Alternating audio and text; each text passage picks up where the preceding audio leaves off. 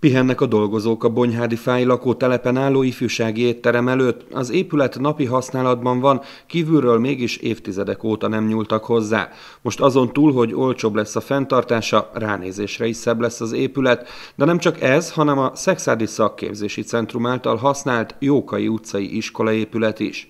Mindkettő a Bonyhádi önkormányzat tulajdonában van, 400 millió forintból teljes energetikai felújításon esnek át. Mind a két épületnél a nyilázáró cseréje fog megtörténni teljes mértékben, homlokzat, illetve tetőszigetelés fog történni, mind a két épület egy lapos tetős épület, a szigeteléssel mindenhol probléma volt, főleg a volt kettes iskolánál egy hatalmas felületről beszélünk, ezen kívül az iskolában a fűtésgépészeti részét is kicserélik. Az önkormányzat, bízva a pályázat sikerében, ezúttal is annyira előkészítette a projekteket, hogy néhány hónapon belül szerződést köthetnek a kivitelezővel. Gyakorlatilag teljesen készen, vagy majdnem készen vártuk a, a pozitív döntést, úgyhogy néhány héten belül a közbeszerzésnek a megjelenésének semmi akadályát nem látom, és legkésőbb valamikor szeptember végén, október elején megkezdődhet a beruházás mind a két helyszínen.